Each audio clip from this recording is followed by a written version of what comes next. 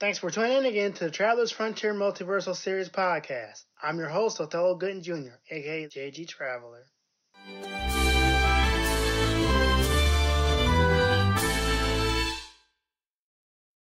Hmm.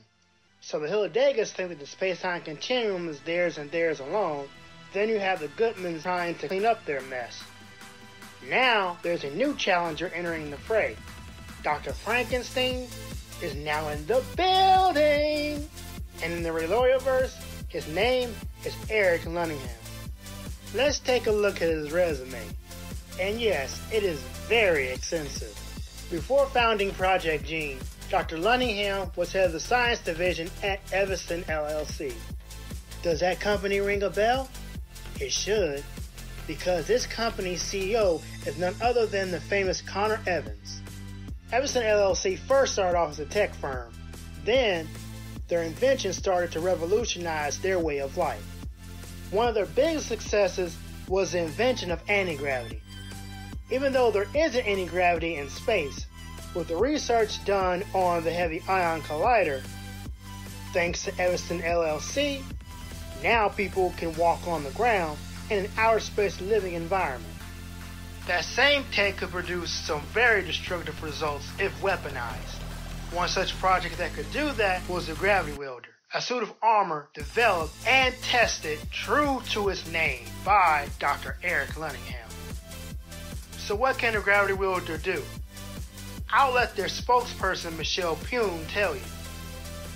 The Gravity Wielder, codename Angeline, is a prototype battle armor designed by Connor and Michelle Evanston with the assistance of Dr. Eric Lunningham and John Falcon. It has the ability to manipulate magnetic fields using the body's energy. Embedded in the suit are nano-sized sensors that store heat given off from the body during activity. This is then converted into electrical energy and stored in the kinetic force field emulator.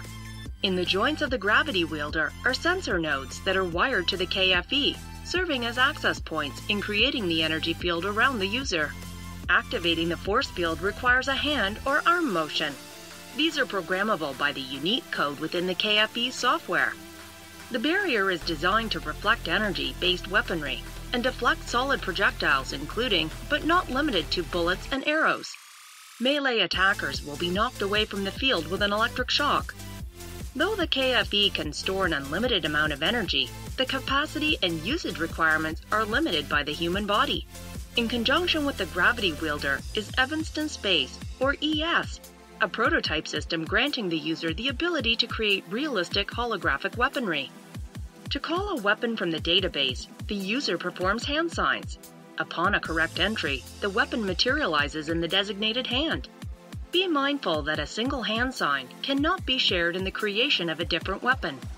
All weapons are stored within the ES database and can be updated via Firewire using a computer. Nations on Earth had their own version of the powered armor.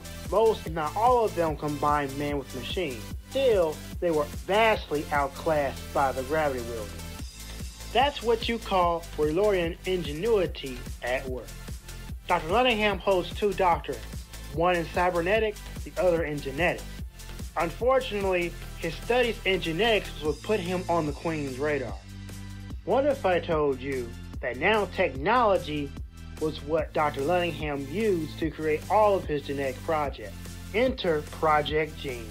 Through Project Gene, Dr. Lunningham became the father of all alien races in the Rayloriaverse. The first alien race created by the Mad Doctor himself was called the Jeunesse.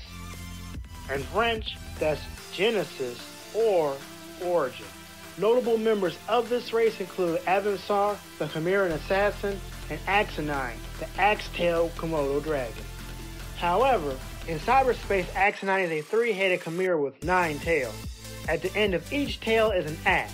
It's interesting to note that this version of Axonine is ever evolving. In the near future, it evolves into a being known as Miles Securius.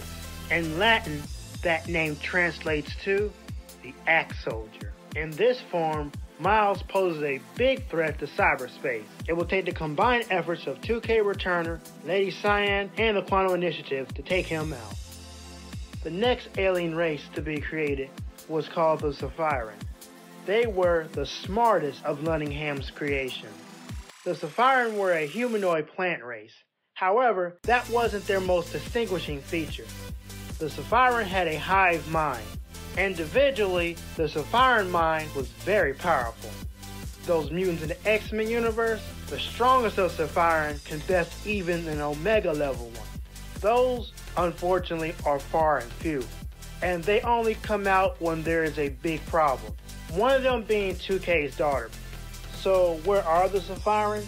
Well, mankind wouldn't know. Even if they did, that memory the Sephiron would erase from their minds. And if they try to start trouble in numbers, the Sephiron will just have the government put them all in jail or an insane asylum and have them labeled all as crazy. But this still leads back to the question about Area 51, or more specifically, ET. In the Rayloriaverse, Area 51 is just another top secret TTA base. Let's just say in one timeline, the Sephiron controlled everything. But thanks to TTA, they no longer have a foothold on Earth. So they can stay on Mars where they're at currently.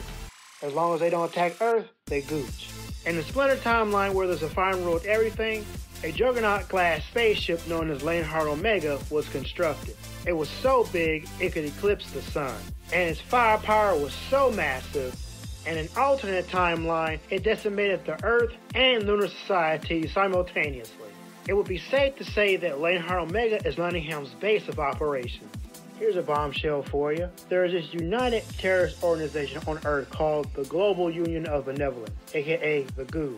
Their leader is Jean Falcon. Their foot soldiers are the Lanehart. You guessed it. They were developed by the Mad Doctor himself, and you will find them in abundance on Lanehart Omega. Compared to the Lunarian Society's Relorian armed mechs, the Lanehart class still were vastly superior. How many Relorian armored mechs does it take to get a job done? Too many to count. How many Laneharts does it take to get the same job done? Only one. When they step onto the battlefield, get ready for body control. Lanehart Omega is like a world within itself. On this spaceship were several races, but I'm going to mention the most prominent of them. The next to be born after the Sephiron were the Zerui. To the average human, the Zerui are the same, but biologically, they're different. Not only can the Zerui hit harder, because of this, they are better, faster, and stronger. There is, however, a splinter race that are technically rebels called the Rayan, but that's all there is to them. Yet rivaling the Zerui are the Nexus. You could say that Dr. Lunningham took the best parts of the Sephiron and the Zerui and put them in the Nexus. No pun intended or not. I'm not saying it was a pun intended, but it was most definitely a pun intended. If you haven't guessed it by now, the Nexus displayed superpower traits just like their predecessors. However, an individual Nexus had a wide variety of powers. This trait was vastly different from the Zerui and the Sephiron. Both of the aforementioned races had a collective power that race was known for. In a unique sort of way, the Nexus were vastly superior. You could say that they were so versatile. After the Nexus came the Echnequis. At first sight, the Echnequis were blind as a bat, and they were very sensitive to light. But don't let these aforementioned disabilities fool you. They can hear you from a mile away, and if you engage them in a swimming contest, they'll dust you faster than a dolphin. Last but not least, the anomaly. The anomaly's most distinguishing trait is their purple skin. In the Rayloriaverse, also in ours, there is a substance called dark matter. Some people regard it as the glue of the universe. Dr. Lunningham used dark matter in the anomaly. Dark matter and the anomaly made them impervious to mental intrusion. It's also interesting to note that if this same substance is injected into anyone else, they may or may not get the same powers that the anomaly has. There's a 50-50% chance that you may or may not die. However, in the unique case of Celeste Goodman, 2K Returner's daughter, dark matter can augment what's already there, if not grant new abilities. Now let's go back to the current timeline. We know that Dr. Lunningham, with his Project Gene, creates much mischief throughout the space-time continuum.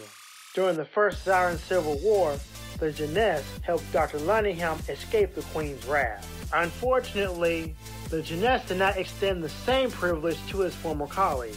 Well, maybe Jean Falcon because he still keeps in touch with him. Then there are some turncoats within UMO. The person of interest is known as Ivan Emanuel, aka Master Wonga, or alternately known as the Crazy Man himself. But I tell you, Dr. Lunningham is more crazier than him. How can you abandon your friends to the Queen? Well, he believes he didn't have a choice. Okay, fair enough, especially considering the fact that the Queen came after him first. Why? Why did they come after Dr. Frankenstein? I would say it's because of his ideals and what he could create. So where does that leave the rest of Evanston LLC? Find out next time when we return. If you like this podcast and want to hear more, subscribe to it. That way you will be notified when the next episode is posted. If you want to check out my other works on the net, look me up on YouTube under 2K Returner for all you gamers, and Quantum Filmations for all my non-video game related content. If you'd like to support me as a content creator, check out my Patreon at patreon.com backslash jgtraveler. Becoming a patron gives you a variety of perks, one of them being giving you early access to any project I work on, dibs on blog topics, and more. I thank you all again for tuning in, and as we go our separate ways, take care and be safe. Till we meet again, travelers.